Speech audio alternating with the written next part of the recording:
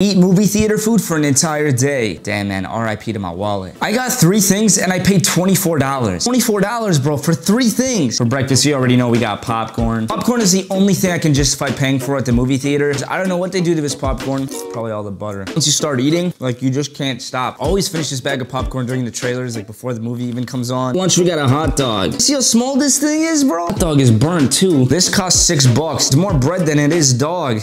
Yep, tastes like a ripoff to me.